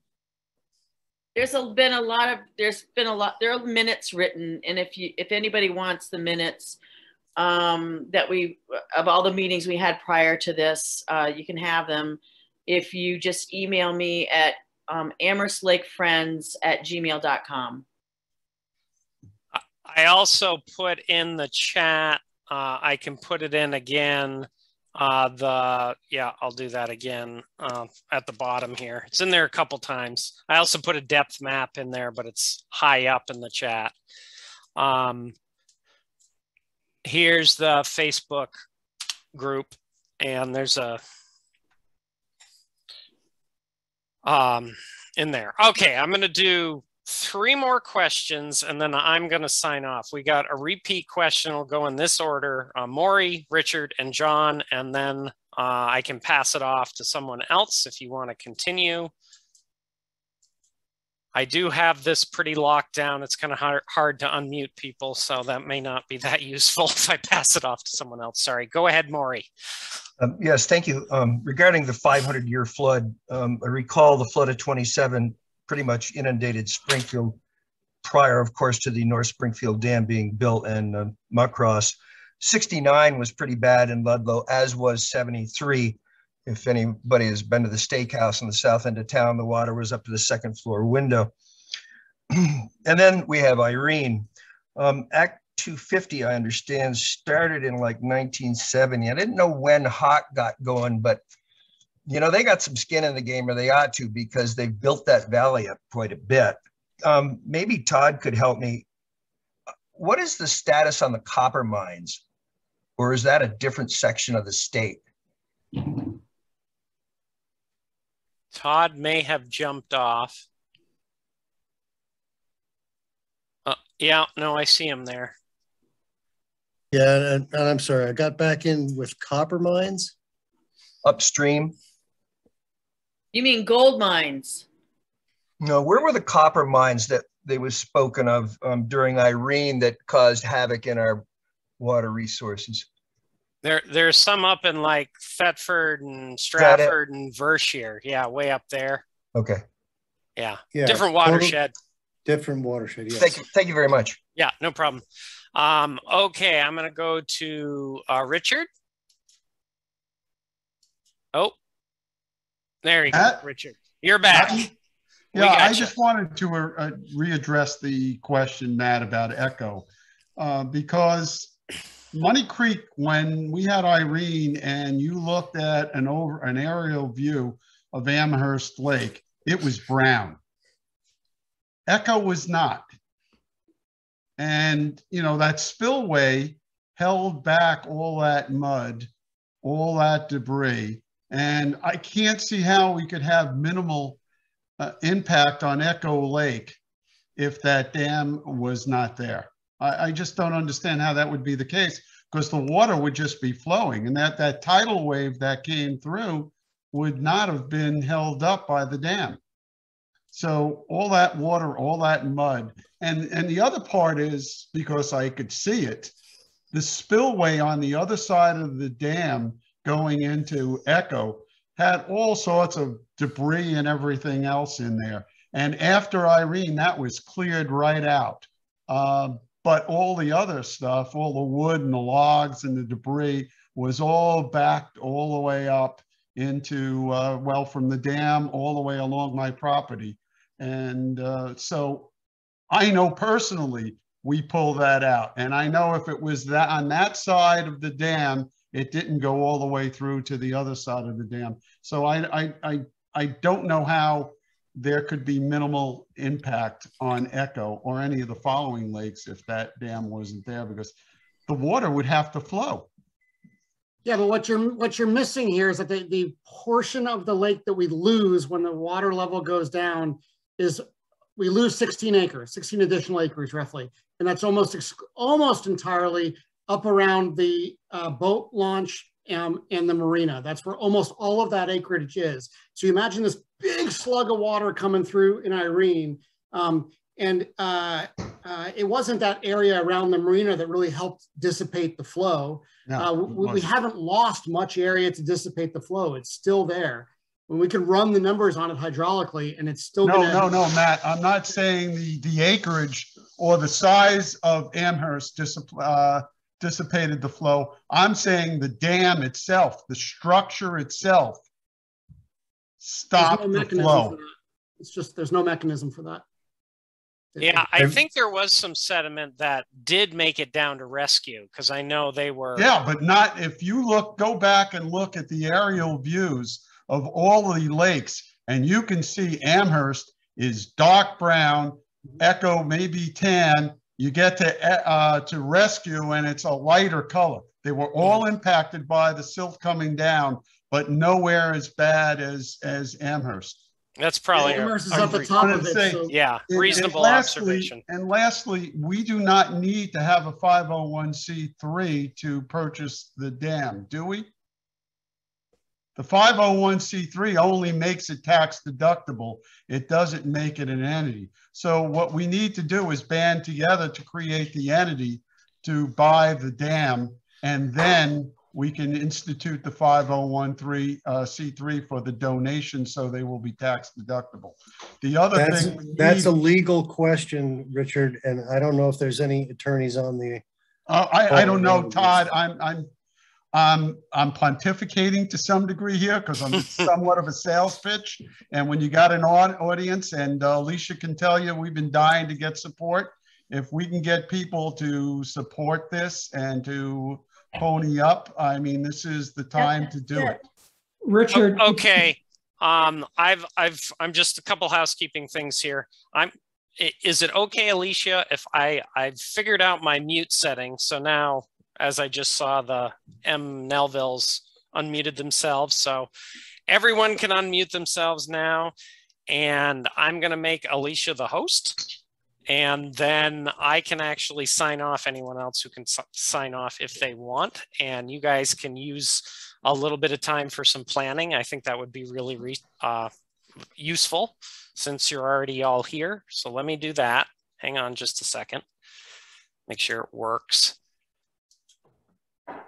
I Alicia, do. did you get my note about getting your All uh, contact? All right, hang on, Richard. Did you get that little host uh, message in the chat, Alicia? Did I get the host in the message? It said it. It did. It. I'm getting private messages too, so I just want to. Yeah. Yeah. It's okay. Uh, you should be good. You could try try muting me. Right, we're, okay, let me see. Where you? I'm, I'm the one. I've never done picture. this before. Yeah. I don't know if someone's You're more gonna learn quickly. Well, we can talk. Yeah, Um, I okay. think, that- okay, so we've got, we've, we've got a lawyer who is willing to do pro bono to set up the 501c3. It's, it's the Hawk owner. Um, I have to find a lawyer local, um, which I was gonna do after this meeting. I have a couple, um, of names to contact. Um, I guess somebody needs to be in the bar of, in Vermont to, to, so I don't, I don't know exactly. I haven't heard back what exactly they need, the, the pro bono needs, pro bono light lawyer needs, excuse me, tongue tied tonight. Um, the five, the, um, the bylaws are written. They just need to be tweaked a little bit. Um, I had some questions. Um, and I guess what we need to do is meet and I would love to do it in person. I don't know how people feel about that, but we can use the community center. It's free in Plymouth. Um, we can just arrange to meet there. And I don't know how many people are local. Um, I was, I've been doing um, maps and kind of tracking people where people are, getting local addresses, out of state addresses. um, asking for a core group. I actually ran into Laura Bennett in the grocery store. I said, okay, you're going to be, you're going to be part of this association. I don't know if Laura's still on or not. Hey, hey, Alicia. Yeah. Hi, Tom. Hey, how are you? Good. Hey. How are you? Good, good, great job. Hey, Peter, great job. Matt, great job, guys. Um, hey, I just have a question. Um, I asked it in the chat. I don't think I got a clear answer. So I, I get it. Um, the state is willing to give money to remove the dam. Um, I want to know if anybody from the state, I think there's a senator on, is plans, will there be plans to fix the boat launch, improve access, probably clean the lake as well? And will that all be factored into the total cost of removing the dam? Right? What is that total cost? And will that be looked at and analyzed when they make the decision? Because I'm still trying to figure that out. Because if you take the dam out and then you got to go and the state's not going to fix the access, what's the cost of fixing that? And does it end up being more money than if they were to just fix the dam altogether? That coupled with the question that I had for Matt, which is that this dam is not going to catastrophically fail. It's going to slowly fail. You know, I, I'm just, uh, I'm curious, what are the decision-making factors? Are we just talking about the dam? Or we're going to look at the whole picture from a state level, from a representative level, taxpayer level, usage level, et cetera? What's going into the decision-making process? Uh, I can, you want That's to, Alicia, go addressed to who? You know, I- I'm not sure. Well, we did talk about, the- okay, so what um, Matt said was that the dam would cost two, about two hundred and forty thousand dollars to remove. Right. And then they can't imagine that state's gonna let the boat, I mean, where, the, the boat landing would have to be repositioned somewhere. Okay, somewhere. so how much is that So- gonna cost? How much is that gonna do? You got think people's state- prop, you got property along that side that are gonna be impacted. So does that need to be analyzed and figured out before the state says, oh, here's, you know, whatever to take the dam out? And then down the road, we gotta go fix that for a half a million dollars. So how is this gonna be decided? How are we gonna put all these pieces together? Matt, if it's you, Pete, if it's you, Todd, or we're state senator on the phone, maybe it's you, uh, you know, but are we looking at all those pieces?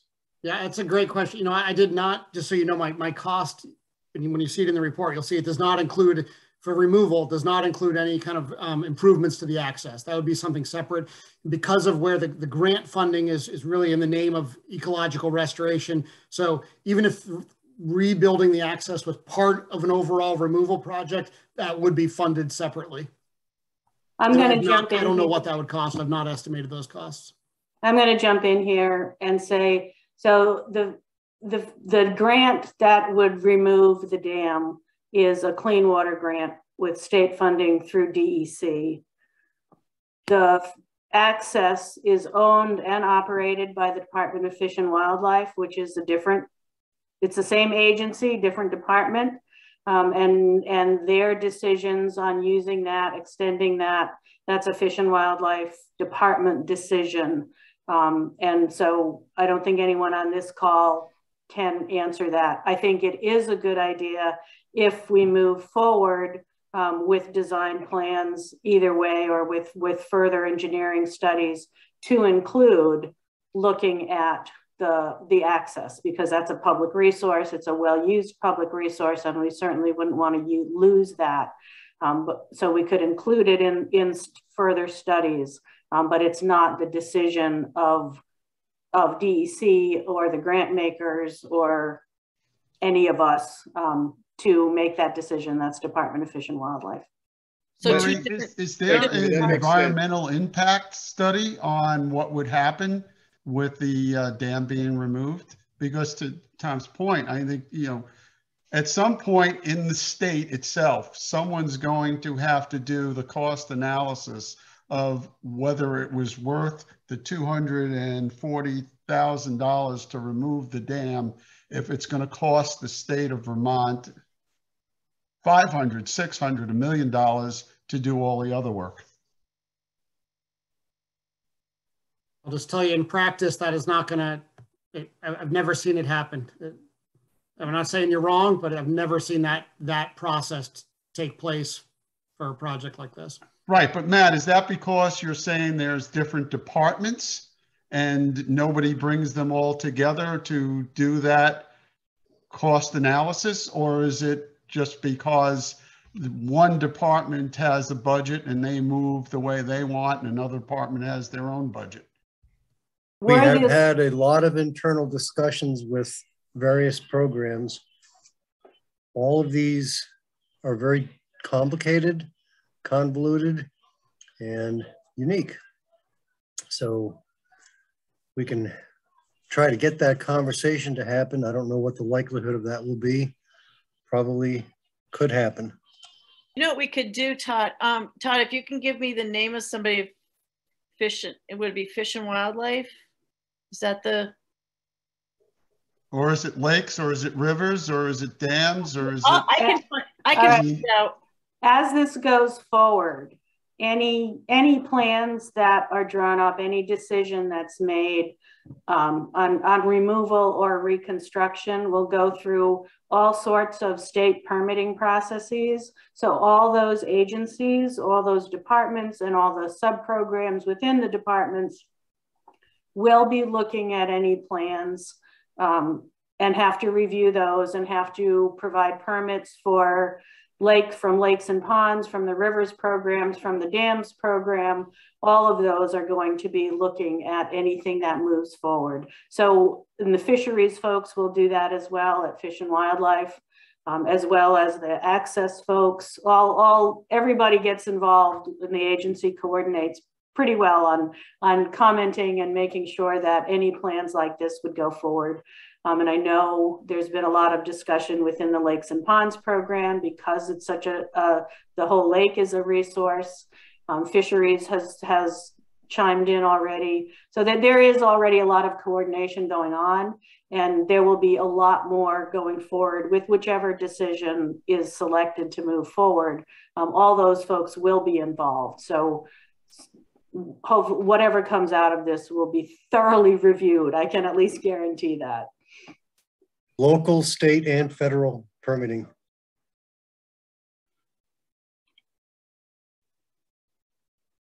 It could be, at some point, we need to find out who sits on top of all of them.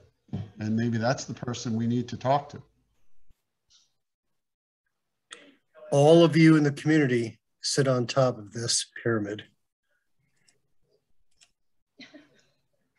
Why don't I feel that way?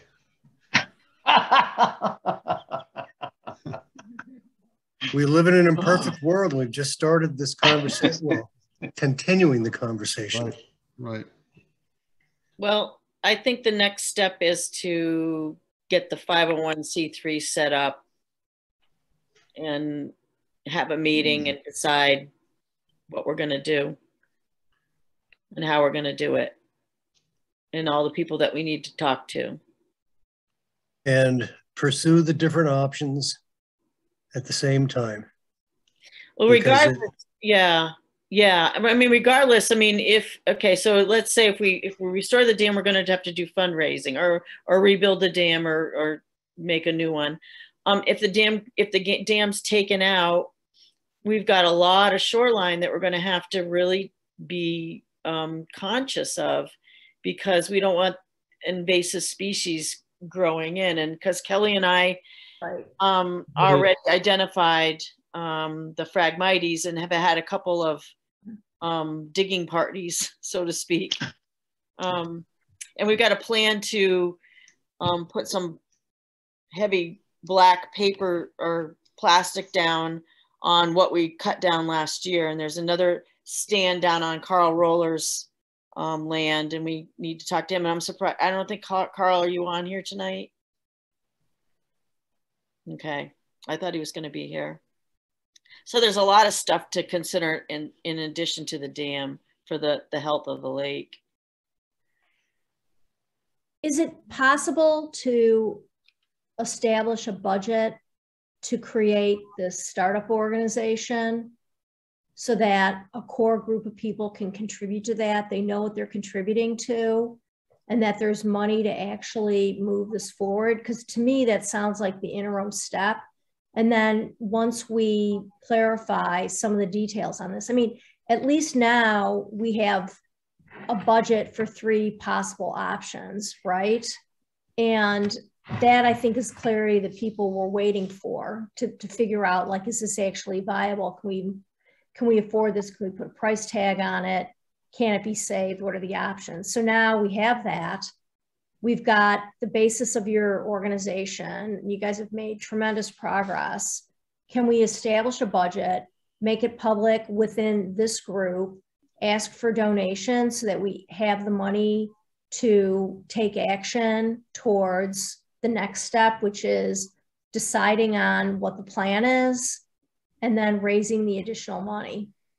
We've got we've got the plan. It's all written in the minutes that uh, the meetings that we've had before. We were, um, I think a lot of people were just waiting for this meeting to happen. Okay, great. Agree, I agree, Alicia. I think everybody has been waiting for this. This was, Yeah. this was the uh, shoe to fall. So now we know what courses of action we have to do because before this, everybody was sitting around waiting for an answer. Yeah. Well, or the idea, I mean, we're still going to move forward, you know, before this meeting happened and now after, it seems like we've got a good plan in place, which is to get the 501c3 set up and just to start fundraising from there and seeing what we can do. I've talked to other um, pe- people around the state who have been in the same situation. And what's really interesting is that one one association was allowed was allowed to well, well lloyd's of london i believe insured each officer. So basically the association owned the dam. Um, Right. all, all my notes are in my office. They're not here with me tonight. Um, and then there was another similar um, group who formed an association and they couldn't get insurance. So they weren't able to you know so these are all things I, I, the biggest concern here, Alicia, so everybody knows, and I think the O'Loughlin's will tell you, is the insurance coverage for the dam, the liability exposure for any damages downstream and around the lake. So if you buy a dam, and I don't mean to speak for you, but if you buy a dam, you certainly incur a tremendous amount of exposure for uh, civil liability. And uh, one of the other things is if you're a uh, an officer in that organization that owns a dam, you are personally responsible as well. So to set up a 501c3 is wonderful because it's tax deductible. And again, Todd, I'm not a lawyer, uh, but I spend a lot of time with lawyers. Um, if you have an organization, you have it as a 501c3, it only means that it's tax deductible. If you have an organization, those people that run the organization have personal exposure to the liability of someone being hurt or to property being damaged. That may be the bigger cost than the uh, the actual repair to the dam. that's what we've discovered is like if if the association was to um, purchase the dam uh, then the the i guess the issue is uh, can we find an insurance company that's going to insure all the officers in the association who own the dam so there's just, And and the dam itself or uh, or the organization for that liability exposure. Mhm. So that's where we get our pro bono lawyer on Yep. which is good although um they've had some setbacks in their family so I haven't my conversation my contacts with them have been very spotty but i did recently hear because i said i think we're going to move forward with this. What what do we need in terms of a vermont lawyer? What kind of a vermont lawyer do you need? John and i actually did look up some a lawyer in vermont who i guess specializes in dams and the uh the the price tag on that was five thousand dollars to get him to help us. So we said, well, maybe we'll try something else. well, we almost have 500. We've got we got almost I think we got about a thousand dollars because we had sixty five dollars in donations at the tag sale, Okay. up and over the shoes and sheets and.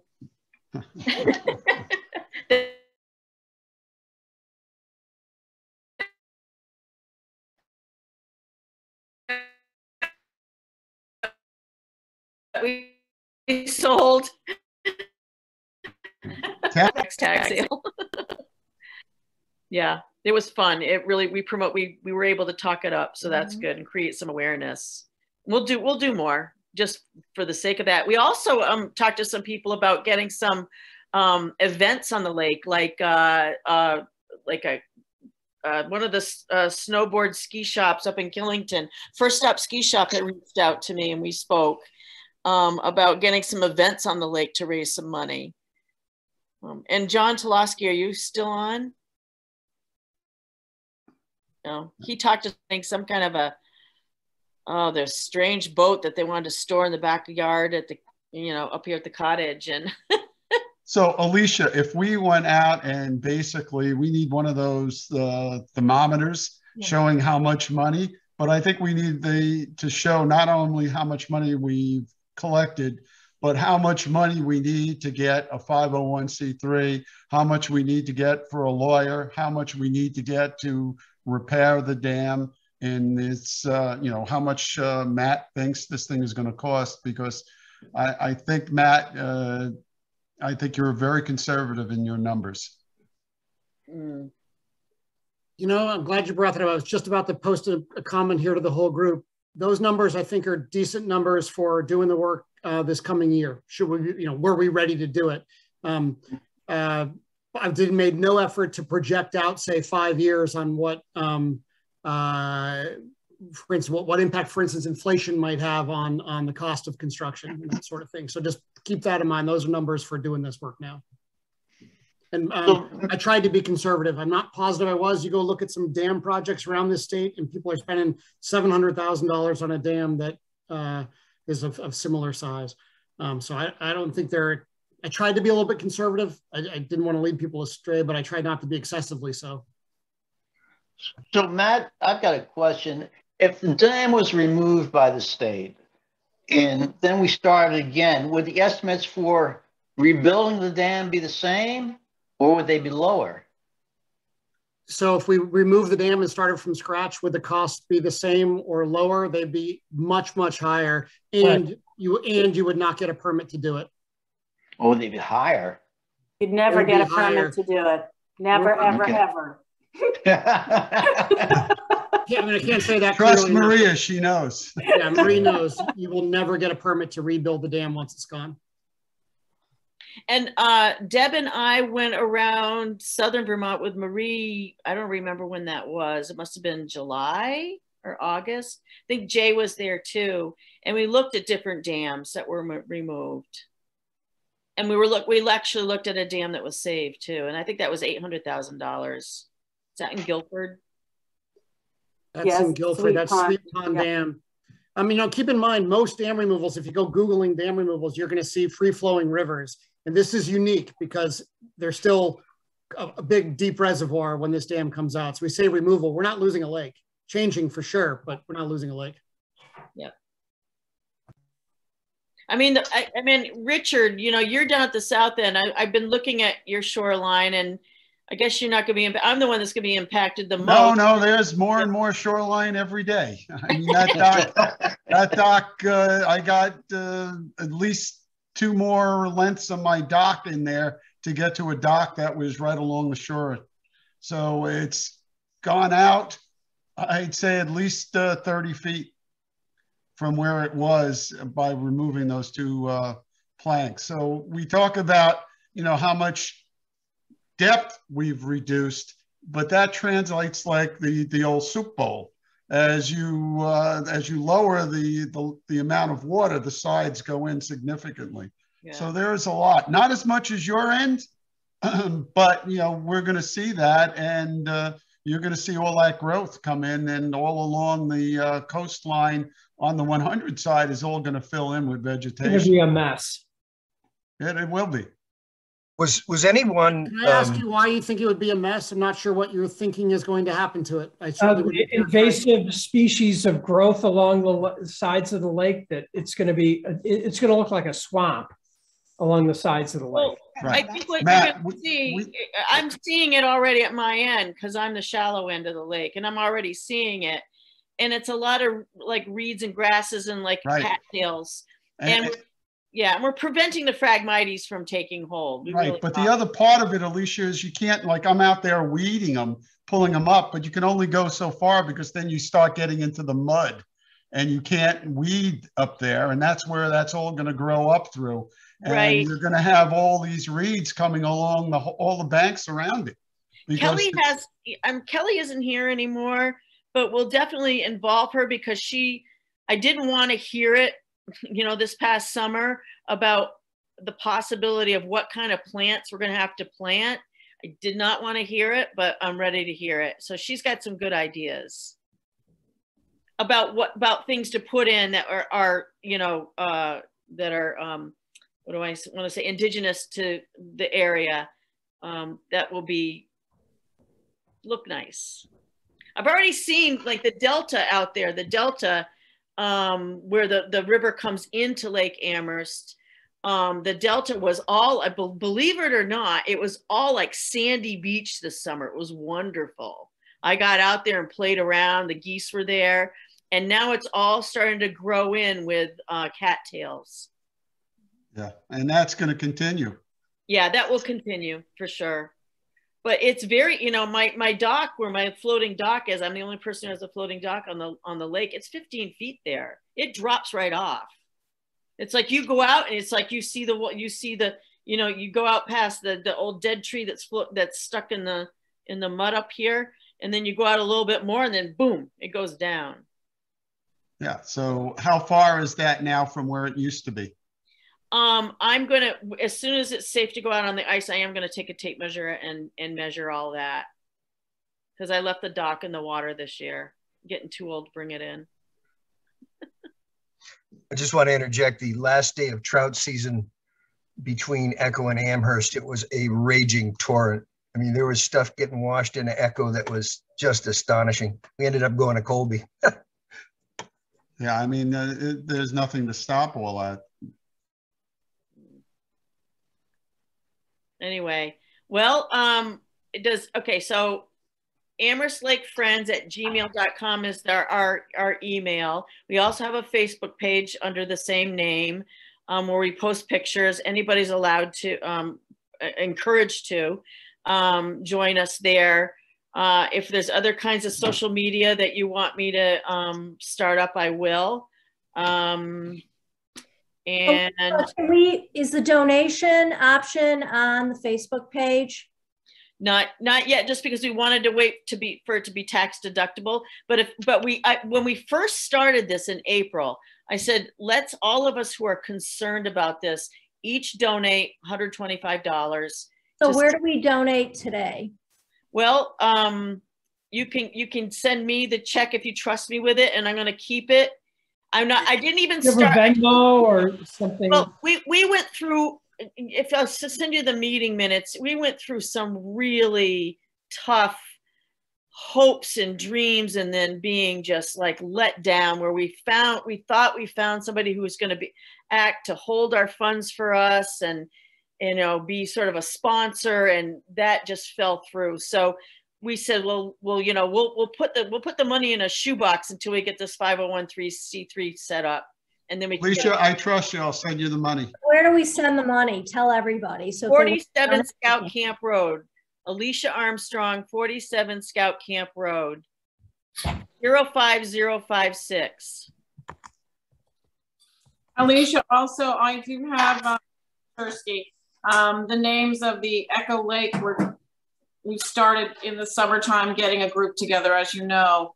Um, and I will make sure that all the, um, participants that weren't here tonight, that I have emails of, um, I will forward all this information to them also. Because I think, Karen, you wanted to start an association down there, and we thought, well, why don't we combine them? Because Rescue and Pauline are combined. And, I, you know, we could combine our forces. That would be wonderful. And um, is your, your house that's being all worked on and getting a second floor? It is. It's beautiful. So when are you going to be up again? Uh, I don't know when I can live there. Oh, okay. So Well, I'm on, you know, I, I'm, I can, I, you guys can get in touch with me, either email or call me. My phone number is, I'll give it to you. Uh, myself for dedicated to the lake is zero eight zero two five five eight zero zero four zero. My address is 47 Scout Camp Road, Plymouth, Vermont 05056, and I'll put that out. I'm not so sure I'm going to put my phone number out on the Facebook page, but um, when I get to my when I'm I'm off tomorrow, but when I get into work on Wednesday, I'll get on my computer where all the addresses are, and I'll send it out from there. Alicia, we're ready to uh, do a grassroots efforts at the uh, Hawk Resort, the Hawk Mountain, and Good. start those funds going. Where do you um Where do you live up there? Up On live up on the hill, right Yep. behind me. We live all the way up on Merlin Way, which is on the south side of the mountain. But Okay. people need to know what am I giving money for and what is it going to accomplish? Exactly. We need to be very specific. So if we are, if we are raising money to finish, to, you know, get a plan together based on the three options in front of us, we need to be very explicit about that because people want to know what their money's going to, who's managing it, and what the accountability is.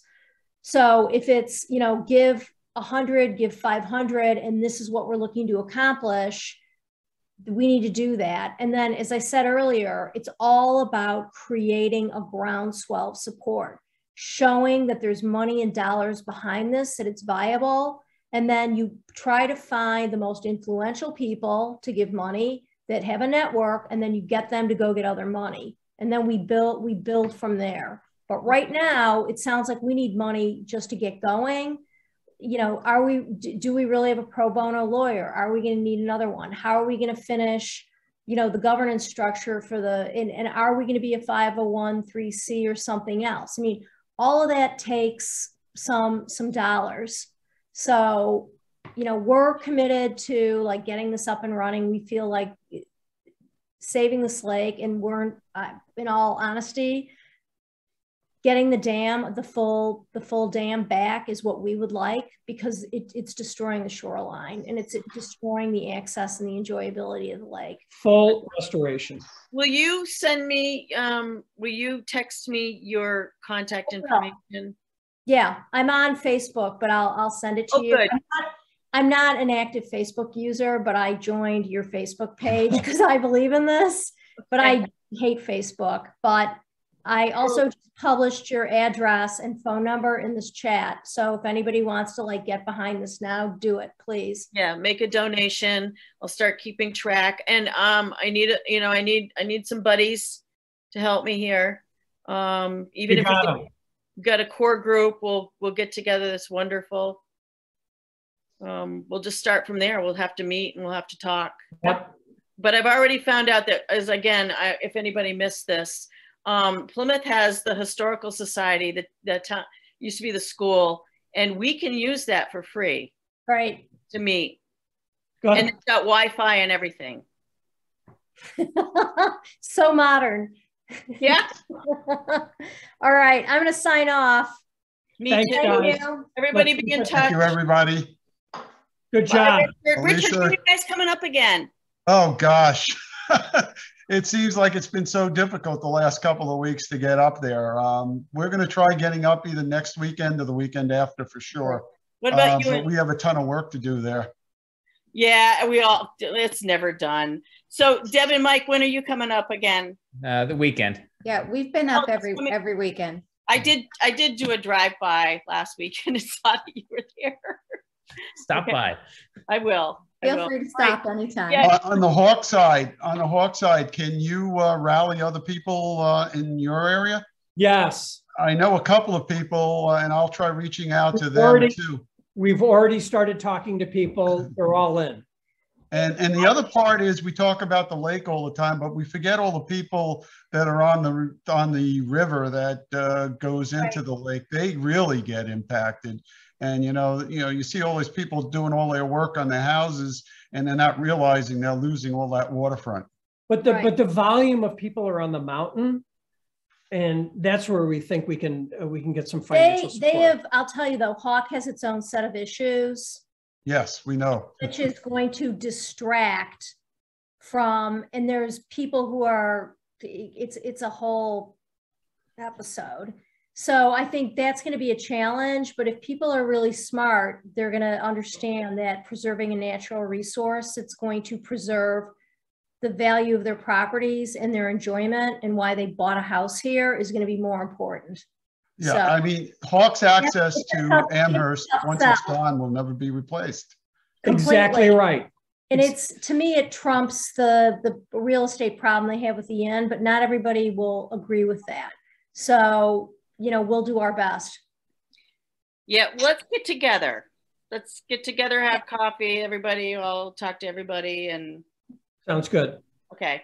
Okay, Bye. thank you, Bye, uh, guys. thank you, Peter. Uh, Thank you where- is he all. Still on, or is he gone? Thank you, everybody. Alicia, take care.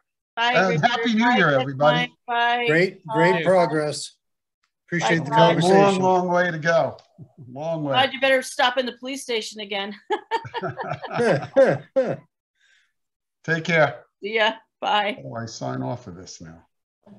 End meeting for all.